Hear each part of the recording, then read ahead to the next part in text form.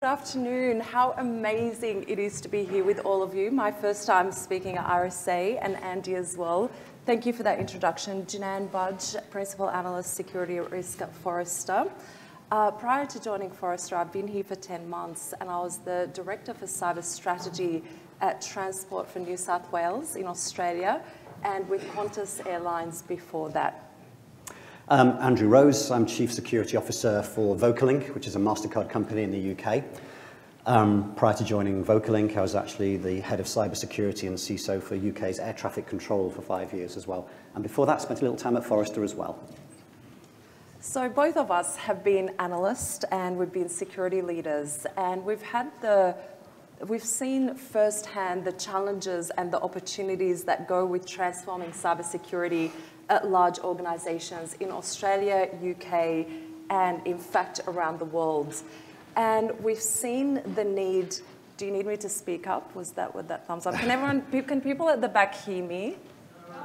Oh my no. goodness, can we do something about the sound, please? That's all right, I'll try projecting a little bit more.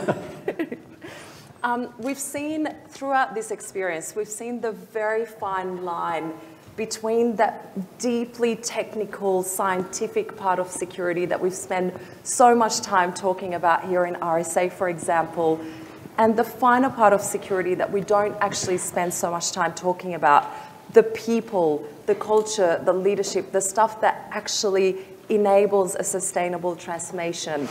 And we've seen how one without the other can fail. So over the next 40 minutes or so today, we're going to be talking about how organizations have created, successfully created transformational cybersecurity strategies using that balance between the art and the science. And because we're on the theme of art, we wanted to introduce an artist who has perfected this balance.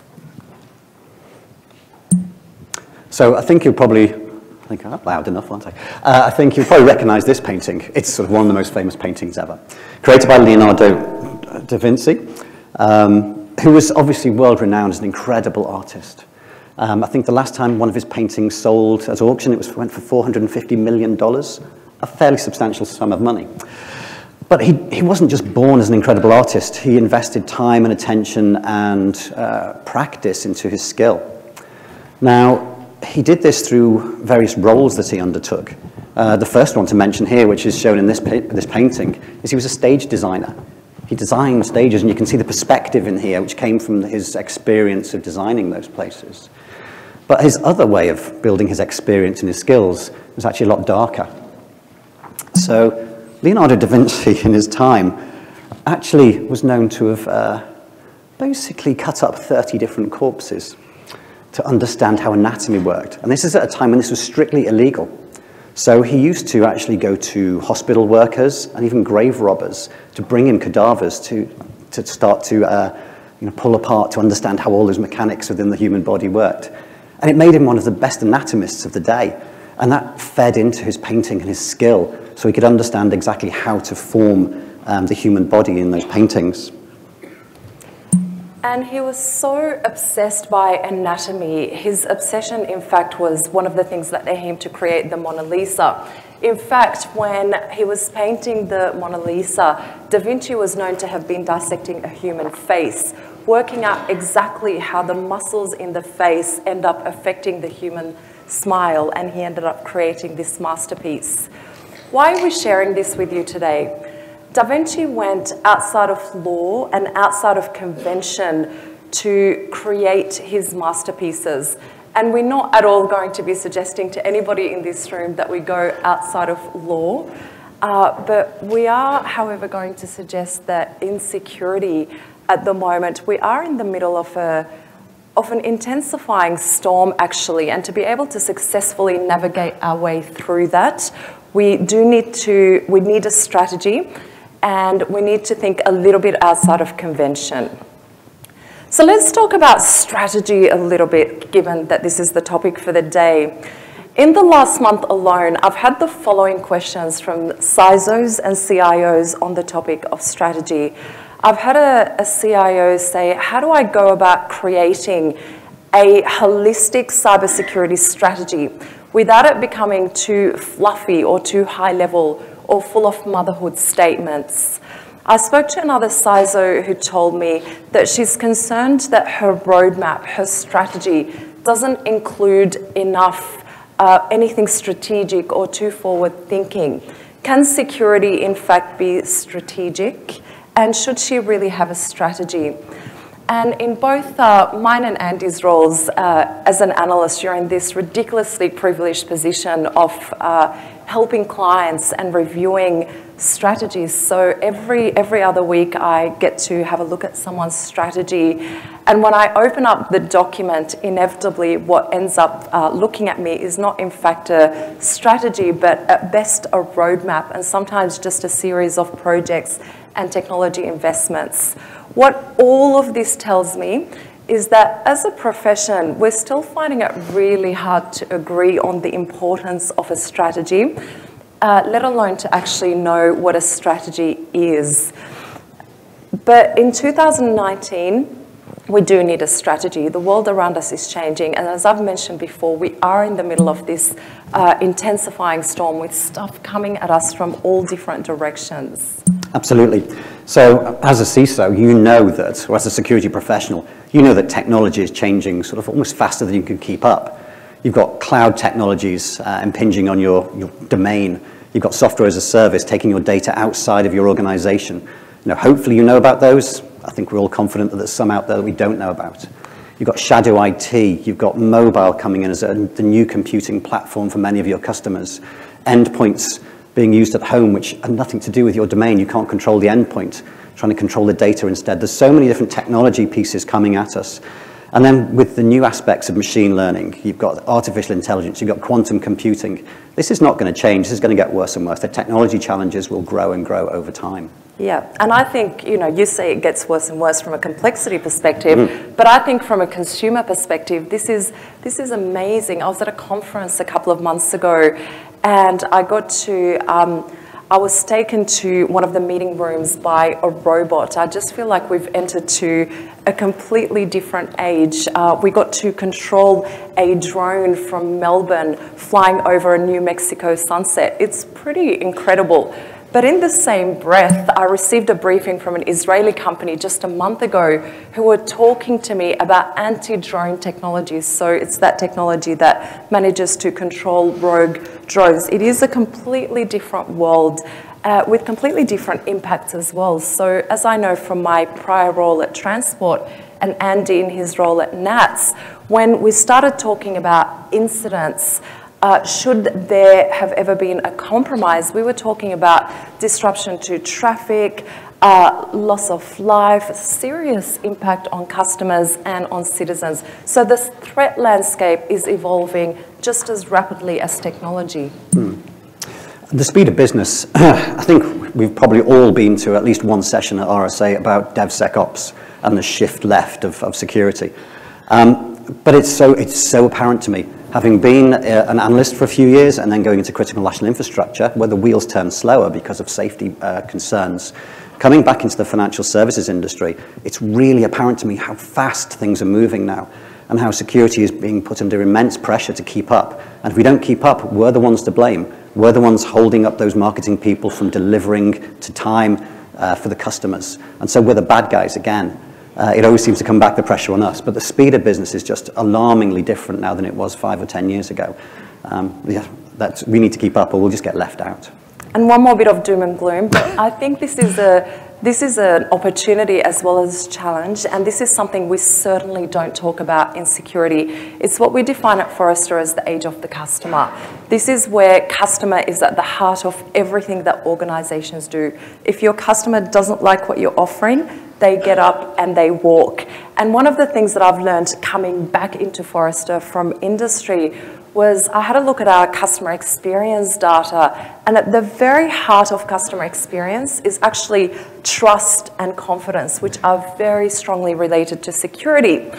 Uh, and drilling a little bit further into our data, customers suddenly care about security. In fact, the years between 2014 to 2017, customer concerns about some security topics has increased by 40%. So customers are going to be another stakeholder who are going to be driving uh, driving us to transform, driving our strategy. When we talk about transformation, uh, don't wanna, I don't want to define a cybersecurity transformation. I feel that's a little bit too theoretical, but I want to talk about the importance of us moving security from an IT issue to an issue of customer uh, trust. I know we have been talking for many years about security becoming a business enabler. I think some of us have managed to do it, some of us are still on the journey, but becoming an issue of customer trust and giving that focus on the customer. Moving away from that lovely reputation that we have as the Department of No to uh, security being in a position to say yes and from technically, from security being an entirely technically focused discipline to a holistic one.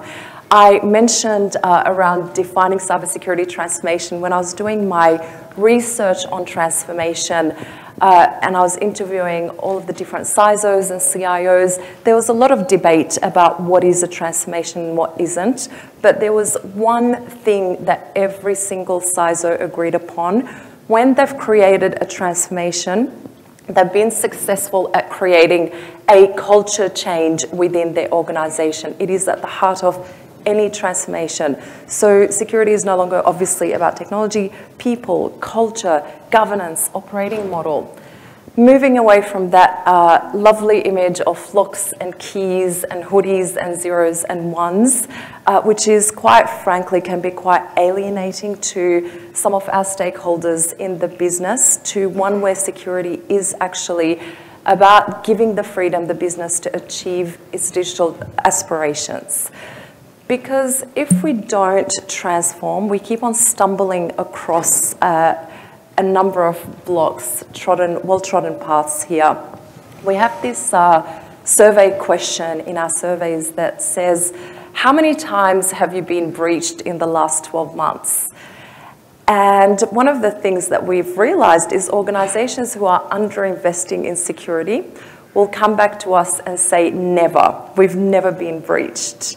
And as we know, that's a pretty unrealistic situation. What, it, what that data tells us is actually they haven't got the strategy, the tools, the people, the process to even know that they've been breached. Uh, spending time responding tactically, have been guilty, Andy has been guilty. We'll talk about that in a tiny little bit more detail. Continuing to invest in the wrong things. Uh, again, if you don't have time to strategize, prioritize, uh, we have found that organisations who are underinvesting in security, not giving it due attention, are still investing in, you know, important but not forward-thinking uh, initiatives such as network security and content security. And last and not least, the uh, struggle and attract uh, they struggle to attract and retain staff. We are in the middle of a staff shortage, as we've talked a lot about in RSA. Uh, if you haven't got the momentum, the excitement, the tools in your security program, you will struggle and retain some of the, some of the best. So question out to the audience then. I think we all agree that strategy is really vital for our organizations, hence why so many of you are here today. How many of you feel that in your organization you've got a great strategy? Show of hands. Don't be shy. so we talked about a few scenarios earlier about how many people would put their hands up. I didn't expect it to be three, frankly. That's really low. But that's, but that's really interesting that people don't have the confidence that they've got a great strategy. And it, it's completely understandable. We'll come on to that later. But um, but that's quite a remarkable figure there. But. And thumbs up, those three who've got a great strategy, yeah. please come and see me afterwards. um, but, you know, I mean, this is, this is very much reflective of real life as, mm. um, you know, we've, we've been wondering how many people are going to put their hands mm-hmm. up today. I think many of us don't feel like we've got a great strategy. Uh, in fact, at Forrester, we, we've got a We've got a leadership board, we've got a council of CISOs from around the world, uh, some of the Fortune 100 organizations, and we work with them every six months. We work with them to understand what are your top five challenges. Since the year 2011, which is when we launched that particular survey, creating security strategies has been a top one in one of the top five challenges for them. And what this says to me is that we, we have not nailed this. We, have so many questions about strategy, about what it is, about how to create it. And Andy, you know, you've, you've now executed a number of strategies. What, uh, what are some of the challenges? So yes, I've, I've put some strategies in place and sometimes I've not put great strategies in place. Yeah. But there's, there's things that stand in your way as a security professional to get that, that done. And here's some of them. So start at the top right there, Department of No. Okay, let's go back to 1995 when security was the Department of No. Um, hopefully we've all moved past that. But where you haven't, you don't need a strategy. It's really easy just to say, um, no thanks, I don't need to plan ahead if all I'm doing is stopping things happening. It's very easy at that point. Strategy isn't really a requirement. But it starts to get really difficult when you start to see these things about the dragged into minutiae, forgetting to prioritize and can't spare the time. That is the killer. That is certainly where I've been guilty. You get so busy, so wrapped up in the operational day to day, dealing with incidents, dealing with audit requirements, compliance requirements, um, incidents. Everything's firing at you, and you're just so busy, and the scope of the role is so broad, it's difficult to prioritize pulling something together. And honestly, if no one's chasing you for it, you know, you, are getting rewarded and pats on the back for dealing with the, the, you know, the current fires. Mm. Um, so you just forget to prioritize it. And that's not a, a good investment of your time. I think the, uh, it's a bit like being in a traffic jam, and every time you get to a, a junction, you just take the most empty junction and go that way. It's great. You'll keep on moving forward and getting that, that feeling of I'm delivering something, I'm doing something here, we're moving forward constantly. But God only knows where you're going to end up at the end of it. It's not a strategy, that's much more a tactical solution. And then finally, there's the someone else's problem. Often, security is part of IT, and therefore, when the CIO produces his strategy, there's often a couple of security pages in there, and you think, oh, I'm done. He's written my strategy for him, for me. I'll just follow what he says, and we're good. That's not enough. Security is such a big part of many organizations now that you can't just uh, allow someone else to drive your future for you. You need to take ownership and actually start to push that forward. But it, it's a challenge to get a good strategy together and then to execute on it is difficult too. So what are the good and bad things? What makes or breaks a strategy? So let's go through this really quickly. A, a good strategy is, is aligned with your business, enables your business to move forward and deliver. And um, it has people at its heart. I'll come back to that in a second. What, is, what breaks a strategy? Shelfware. If you write it and forget about it, or you just don't write it at all, you don't document it, you don't get it down, you don't make sure this is a living document, then that's, that's not going to work either. And it's also got a flexibility built in. I think we all know the opportunities that can come from a, a, a news story, an incident, a near miss at a competitor, when you can make advantage uh, and get some investment back to, to deal with that issue. That's got to be baked into your strategy too. But fundamentally, what makes or breaks a really transformational strategy is the legacy you leave in that organization.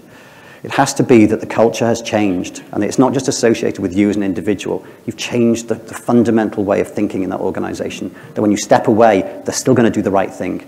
They're still going to prioritize the right pieces. That's what transformational strategy means. It means changing the fundamental culture and outlook of the organization. So I've got good news and I've got bad news. So the bad news is we're not going to give you a silver bullet for what the perfect strategy is. And that was something that we spent quite a long time debating when Andy and I were designing this session. There is in fact no silver bullet for this. Uh, there are so many different variables, factors, the size of your organization, the maturity, the level of support that you have.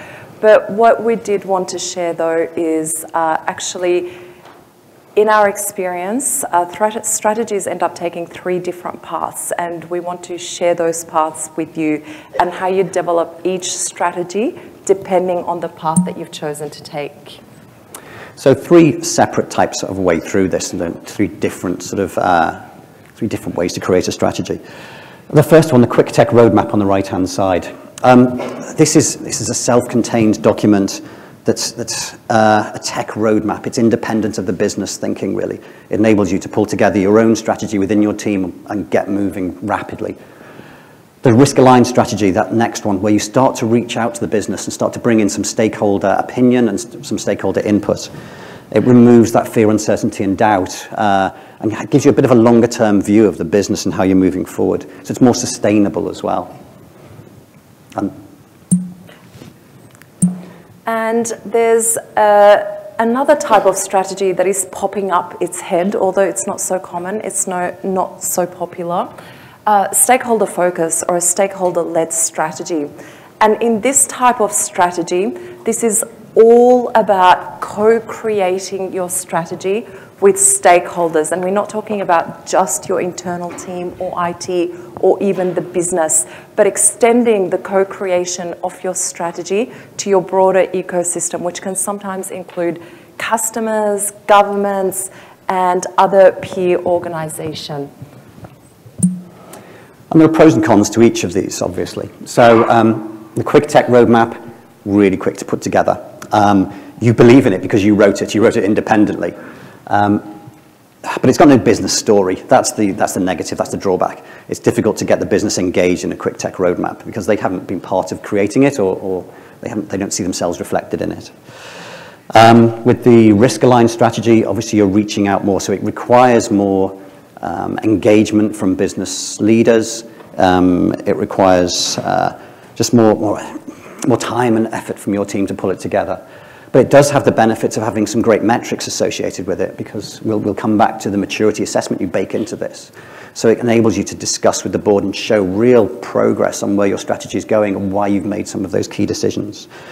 Um, but it's still largely IT focused. There's, there's, a better business story in there, but it's not the, it's not the complete vision that perhaps you'll get with the stakeholder focus piece. Mm, and the stakeholder the stakeholder focus piece is quite. Uh, some of the benefits are quite phenomenal.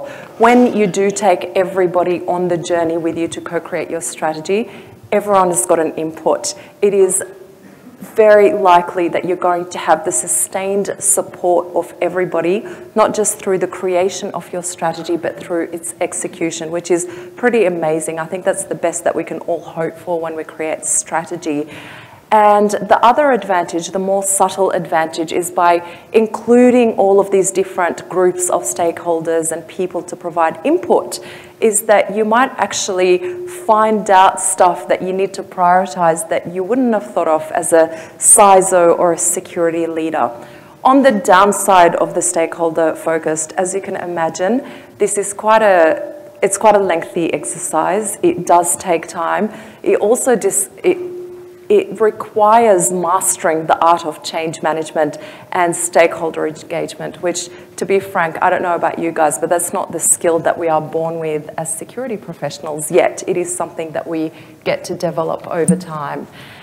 And so we've given you the three paths, uh, and the choice is ultimately yours. We've touched on some of the criteria that you need to take, but we decided to put it together in a helpful uh, kind of a table but there are a couple of criteria that I really want to touch on.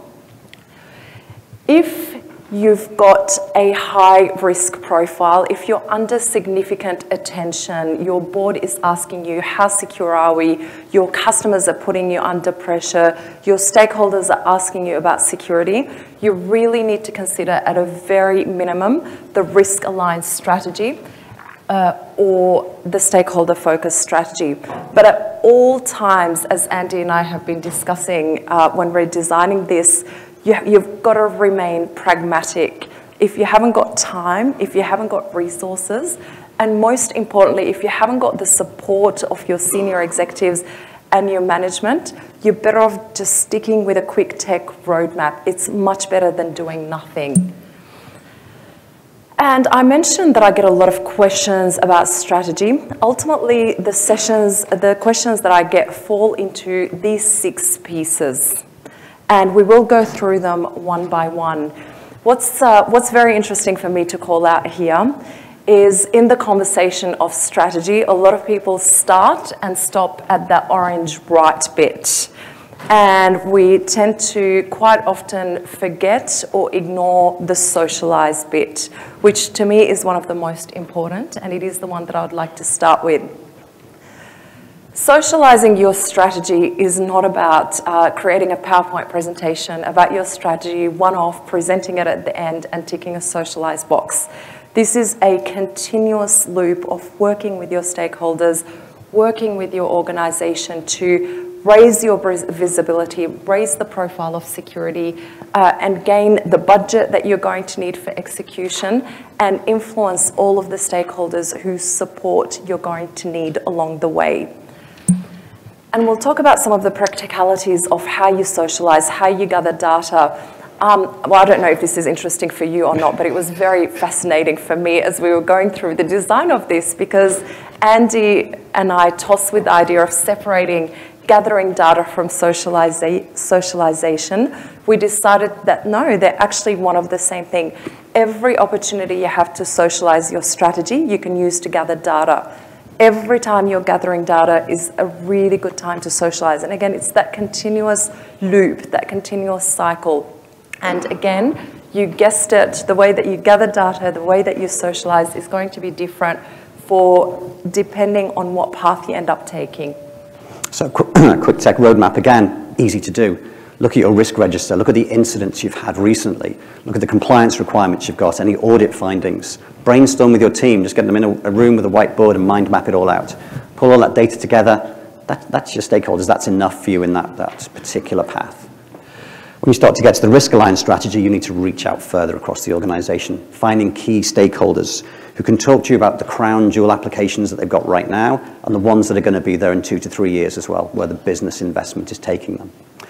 Um, you start to reach out to those different business units again about the maturity assessment. How can you assess the different strengths and weaknesses of each of your different business units to gather that data back in? But it, it's important, as Jinan said, that socializing and collecting data is actually two sides of the same coin. It's vital, and I'm, I'm sure I'll mention it again later, that the exec people in your organization see themselves and see their key projects, their pet projects reflected in your strategy. That's what will get you buy-in and support all the way through the board, all the way through to finance. Yeah. And with a stakeholder focus one, I was actually very lucky during my time in government to have taken place of a whole of government stakeholder led cybersecurity strategy. We had a new government CISO come on board and she, she had to create her own strategy for the whole of government. So instead of sitting in a room with her team and working with us individually, she pulled all of the CEOs and the CISOs of each one of the government departments, which if there's anybody here in the room who is from government, would probably appreciate the complexity of such a task, pulled us all in a room together and uh, brainstormed a number of cybersecurity scenarios and prioritize all of the different projects and initiatives in alignment to NIST. I was quite skeptical initially, thinking, oh my God, the CEOs are going to be so bored. Um, you know, what, what does NIST even stand for for them? But it was, it was quite incredible. The strategy has now been publicly released. It's got such significant support, buy-in and visibility, which I think will allow for sustainable execution. The, the topic of, the broader topic of socialization and culture change that is needed at the heart of this, um, the transformation and the strategy, that is another 50 minute uh, presentation for another day. And I've been to some excellent sessions actually this week on the topic. So I'm not going to cover it, but just very quickly as a reminder, this is not a one-off. Uh, successful CISOs who have created uh, amazing sustainable strategies have managed to communicate security up, down, across, and outside of their organization. And if you can kind of imagine a, a triangle for that, and at the very top of the triangle, the, the board, that is a very important conversations that you have to have with your board to, uh, to promote your, your strategy, to get the visibility, to get their buy-in. So I want to spend some time on that, uh, particularly on the back of some research, uh, recent research that I've just published on how to talk to the board about cybersecurity. And again, this is a topic I've noticed there are a couple of sessions at this on RSA, which is fantastic. I collaborated on this research with two of my global colleagues. My key contribution to that research was actually interviewing board members themselves to understand their perspective, how they view security, how they want us to talk to them, which is kind of a, a pretty lucky position to be in because as a practitioner, when, when you are summoned to the boardroom, it's usually you're either asking for money or you're frantically reporting on some incident or something. So I had the chance, and I want to share. I want to share some of my learnings with you because I think it's so important to understand their perspective if we're going to be communicating with them.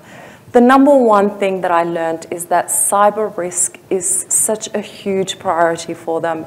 In fact, one board member said that cyber risk is now an existential threat to business. Business can't go on without managing cyber risk, which is a huge departure from language we were using about this a few years ago by board members. Uh, another board member said if cyber risk is not on the top three of your organization's risk register, someone in your organization is not doing their job correctly. Awareness and understanding. So, awareness of security for board members has increased tenfold over the last couple of years, but understanding hasn't. And understanding awareness without understanding is actually quite dangerous. So they've all acknowledged uh, the gap in understanding they still have. Uh, it has come a long way, but there's still a way to go. So they are looking at us to be translators for them. They want to hear from and have a trusted dialogue with their CISO, the author of the report. However, we do have global figures that show that 40% of CISOs still report to the CIO and many more a couple of levels down. So uh, you know, a bit of conflict of interest and that dialogue is not always happening. And the last thing I want to say, again, another like two hour conversation there, but the last thing I want to say is that uh, what the board members mentioned, in fact, every one of them that I interviewed, why can't we speak about this more in risk language? They understand risk, they get risk. Talk to us in risk, not in project, not in techno speak.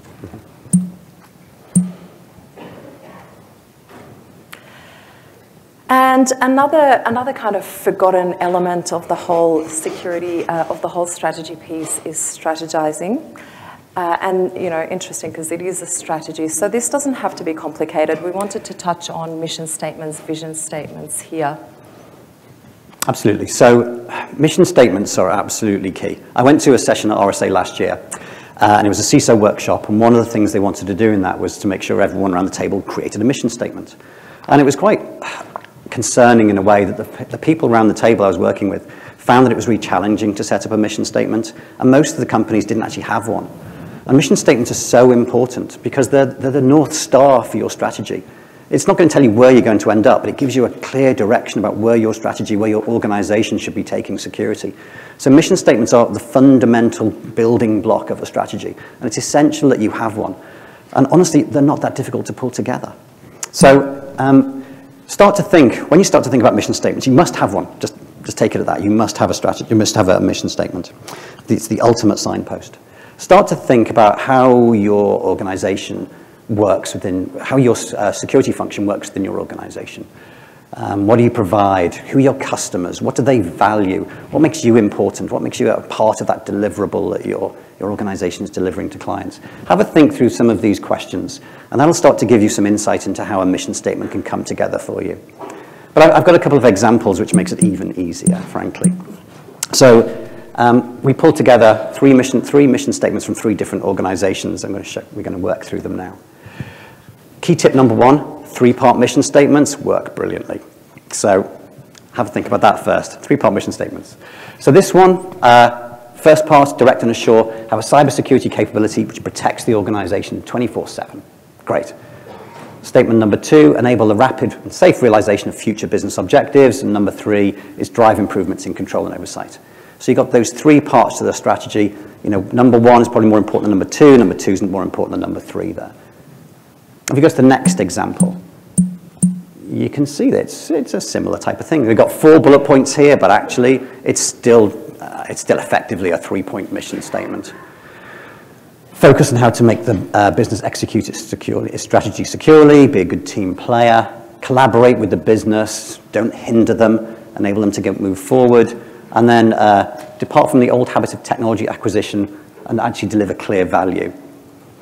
So if you look at those two mission statements side by side, and it doesn't take a great deal of insight to see that they're not far off being identical. If you look at a mission statement and think about one in your organization, think of the three parts. Part one, protect the current operation, protect the current capacity, the current services. Part two, enable the business growth, enable us to move forward. And then part three, it's you know another core component, whether it be compliance, whether it be uh, legislation, whether it be dealing with some, uh, some audit issues. There's another third part which can be a major project that's going on as well. But those three aspects enable you to create a strategy, which is, sorry, a, a mission statement, which is really clear and is a really good guiding North Star for you moving forward. And then probably my favorite one Get someone else to create your mission statement for you, someone who's really senior and really famous, such as a minister in government. And I just think this is ingenious because it goes back to that stakeholder focus one. This is, uh, you know, this is stakeholder engagement at its very finest. And imagine putting that at the front of your strategy, that you have that level of support, that you have that level of buy-in. Um, it's, it's pretty formidable.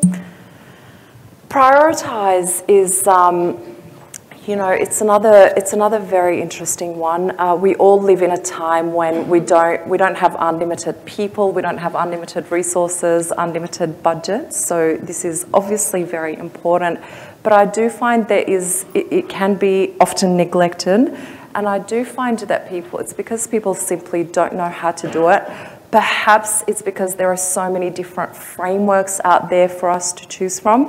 I'm not really sure what the reason is, but I think the important thing here is to not get stuck on frameworks. Just choose one that you can defend, one that's going to fit within your organization's uh, culture. For example, if your organization is big on risk, prioritize based on risk. If your organization, your board, your executives love maturity models, use them. So we're just going to give a few examples.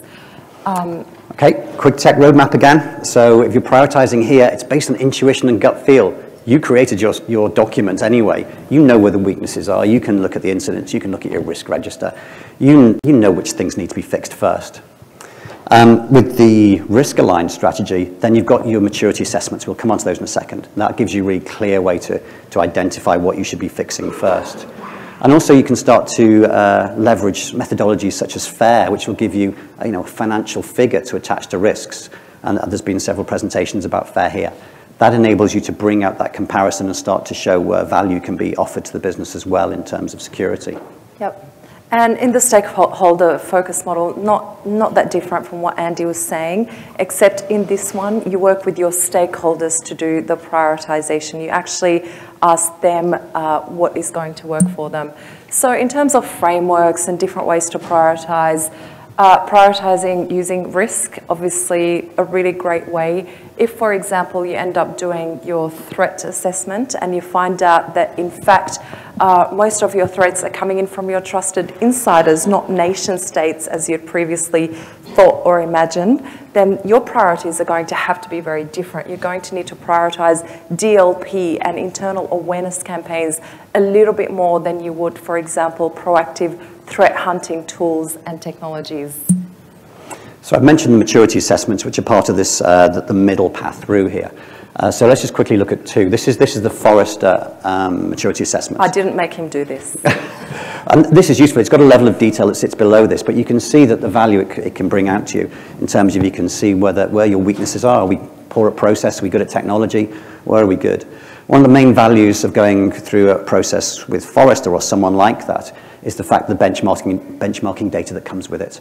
You're able to reach back to that organization and compare, compare yourself against similar organizations to see, actually, when we look at other people, are they really strong here and we're just strong, therefore we're behind the curve. So having that, that background data behind it gives the value in, in this sort of model. But not everyone has that sort of uh, opportunity to work with a, an analyst firm like that. So certainly this is a model I've used before in organizations. It's just a NIST CSF.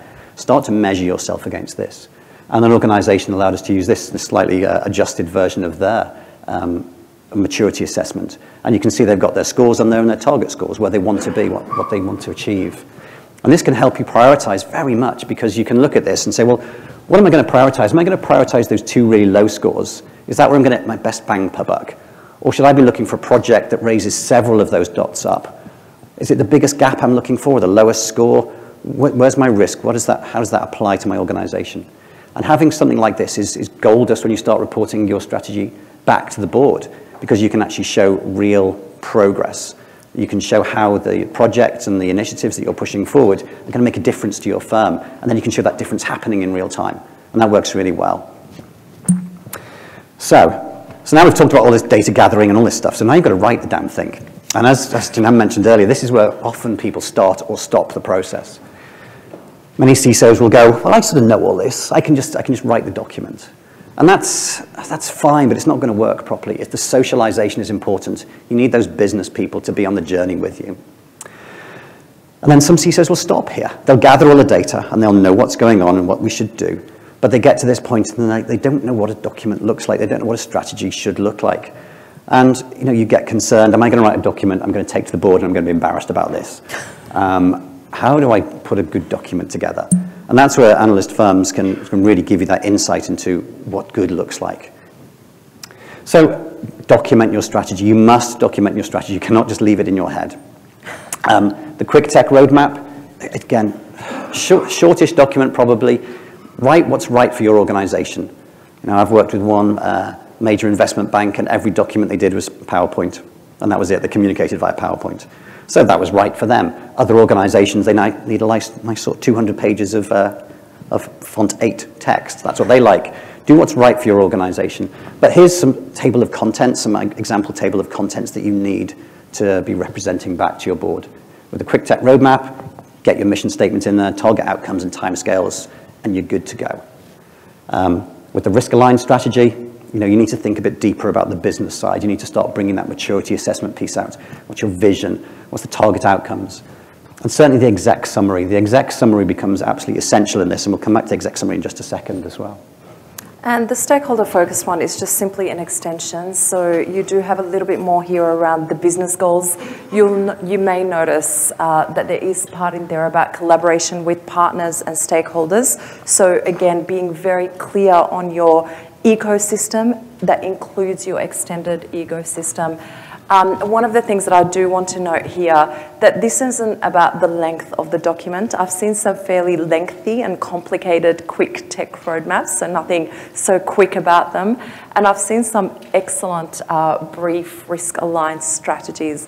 I think it's just so long as you at least consider including some of these. So now you've written the document. Now you've got to write the document about the document. And honestly, this is possibly one of the most important points for going forward. Um, have a think about your audience if you go on to the next slide. Um, as you create documents, as you create the, the um, strategic, the, the, large sort of um, stakeholder focus piece, you need to get more depth and more content and more focus and more detail in there. And that's great, but you've got to remember who's going to be reading that. It's going to be exec members who have less and less time as they get further up. So you have to think about how do you place this correctly. The quick tech roadmap might get to the CIO, probably not going to go any further than that. You can use technical terms in there, you'll be fine. The risk aligned strategy, again, I'm going to come back and say that you want to see those business stakeholders reflected in the content. They want to see their pet projects supported in there. You want to be able to show how your security initiative in mobile is going to enable them to release a new application on mobile, which is going to enable them to move forward with the business. So think about how that works. But then start to write this document and summarize it all up onto a page. And this becomes really important because you've got to remember there are so many conversations going on in an organization that we as security professionals are not there at, where people are fighting for budget, where people are fighting for priority of projects, etc. What you want to do is make sure that you are top of mind for execs when they're in that meeting, that they know what your value proposition is, they know why you're doing these things, the business value you're going to offer, and they, they remember this, and so they can fight for you in those particular meetings. This sort of one-pager can be a good example of, something you can put together and start to send to your execs on a regular basis with updates. Again, the maturity assessment helps there. You can start to use that as a, as a way to leverage them to say, here's the, pro the progress we've made recently. But having a document like this which reminds them about what they're doing, about what you're doing and the value proposition your team is offering becomes really helpful. So do a summary like this and have this pushed to them on a regular basis if you can. Get it into that monthly or weekly exec uh, pack that goes out. But this is the other, this is the other um, summary document you have to do. And this one, this one is for yourself. Now, I have to admit that I've created strategies before, and then once you create the strategy, you get back into that really busy phase again, and you sort of forget that you had a strategy at all. And you end up thinking, okay, I'm just, I'm just back in the, uh, you know, the hamster wheel, running and running, not knowing what I'm doing anymore. Having this on your desk can be a godsend. It keeps you focused on what you're trying to do. Now, I have to say that I got this form from another analyst firm, not Forrester, so apologies for that, but it's, um, it's something that I've used every year. You have your metrics on the left-hand side about what's the current state of security, and then your risk, um, your metrics on the right-hand side about this is what I want it to look like at the end of the year. And then what are the 10 cybersecurity projects I really want to deliver to make this transformation happen? Having something like this stuck on your desk really keeps you focused and makes sure that every day you don't lose sight of where you're trying to take the organization because I think we all know you can really do that. The busyness of this task can distract you. And even though you put all this work in, you might come back at the end of the year and go, oh my God, I didn't really deliver on my strategy. Having this on your desk is really helpful. And the last piece of the puzzle is how do you, how do you become successful at this? Um, this is uh, this, uh, this has come out of my transformation research. These are the six principles that we've found successful CISOs who've transformed cybersecurity within their organizations have followed. Uh, this is another one of those presentations that I could spend uh, an hour or so on. We've covered most of it already though, but just remember this is where the real art of all of this comes into place. When I put this picture up, sometimes I get asked the question, oh, which one should I be prioritizing? This isn't where you want to prioritize. You want to make sure that every one of those principles is covered. You need to start with your reliable foundation. Whilst not as sexy as AI and machine learning, we're still not really patching the basics of awareness, patching culture, they're still not there. Uh, we've talked about culture enough. Uh, to be successful of all of this, you've got to uplift cybersecurity governance. This cannot be, this risk cannot be owned by us security people. And one way to manage that ownership is to uplift the governance of it all, uh, building the A team, which is going to be uh, quite different in a transformation than in a normal business as usual. Now, before we close, I want to share uh, this painting by another artist called Mia. Mia is 10 years old. Um, this painting that she created won an award late last year and is currently touring Australia in some of our biggest art galleries. Uh, one thing to note about Mia is she's not an artist by birth, she's actually my child. And as we've seen from that presentation, you know, I'm not an artist. But one of the other things that I learned about Mia by talking to her teacher about her success was Mia had to invest a lot of time and a lot of effort into learning some techniques that were really uncomfortable to her.